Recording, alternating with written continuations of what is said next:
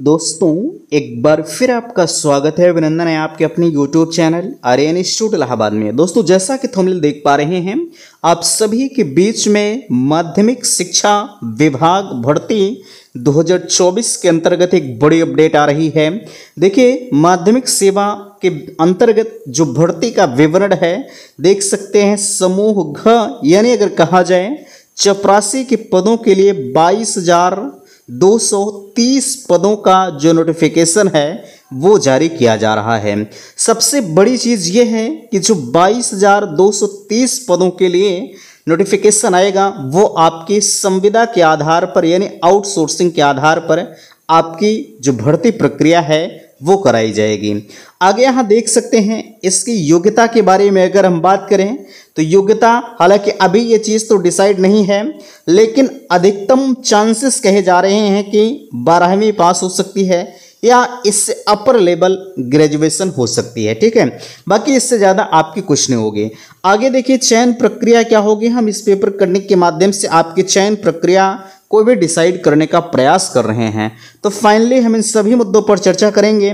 मैं निवेदन आप सभी से करना चाहूँगा कि प्लीज़ अगर चैनल पर पहली बार विज़िट किए हैं तो चैनल को सब्सक्राइब ज़रूर करेंगे। सबसे पहले इस पेपर कटिंग को हम आपको दिखाना चाहेंगे, भाई जिसका आप बेसब्री से इंतज़ार कर रहे हैं। देखिए, आपके बेस में पेपर कटिंग लगी है। सबसे ऊपर कहा जा रहा है माध्यमिक जो है शिक्षा विभाग या शिक्षा में जल्द भरे जाएँगे समूह के बाईस हज़ार से अधिक पद।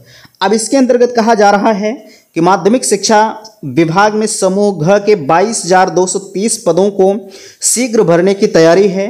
यह सभी भर्तियाँ आउटसोर्सिंग के माध्यम से की जाएँगी। मंडल स्तर पर पात्रों का चयन कर यह भर्तियाँ पूरी की जाएँगी। आगे कहा जा रहा है, इसके लिए मंडल स्तर पर मंडलायुक्त को दिशा निर्देशन में भर्ती अभियान चलाया जाएगा। अभियान को पारदर्शी तरीके से पूरा कराने के लिए विभाग जो है अधिकारियों के साथ मंडलायुक्त द्वारा नामित विभागों के अधिकारियों की एक समिति बनाई जाएगी। जो भर्तियों को पूरा कर जो है, पूरा कर प्रदेश के माध्यमिक शिक्षा विभाग में समूह घ के अन्य सभी रिक्त पद भरे जाएँगे। ये सभी रिक्त पद राजकीय और सहायता प्राप्त माध्यमिक विद्यालयों के हैं, जिन्हें इस साल सितंबर के अंत तक भर दिया जाएगा। उल्लेखनीय है कि माध्यमिक शिक्षा विभाग में समूह घ, जिसमें परिचारक समेत अन्य पद शामिल हैं कि कुल जो है, बयालीस हज़ार एक सौ सत्तर पद स्वीकृत हैं। इनमें से राजकीय के एक सौ चौवालीस पद हैं, जबकि सहायता प्राप्त माध्यमिक विद्यालयों में जो है, बयालीस हज़ार छब्बीस पद स्वीकृत हैं।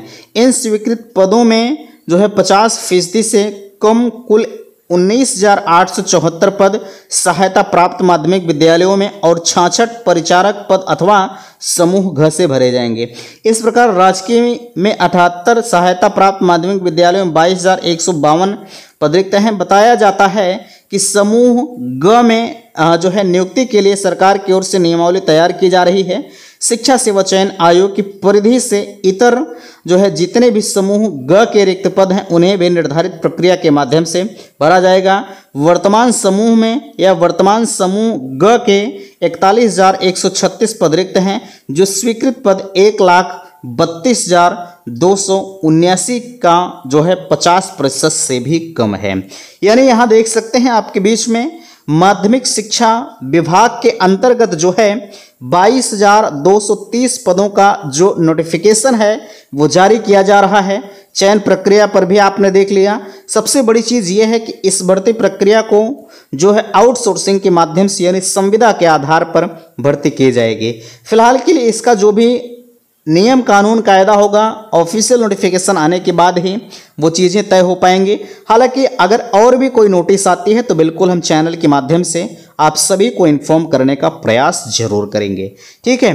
तो आशा करते हैं दी गई जानकारी से आप संतुष्ट हैं। प्लीज़ वीडियो को लाइक कीजिएगा शेयर कीजिएगा और चैनल पर पहली बार विज़िट किए हैं तो चैनल को सब्सक्राइब कीजिएगा। वीडियो समाप्त करते थैंक्स धन्यवाद।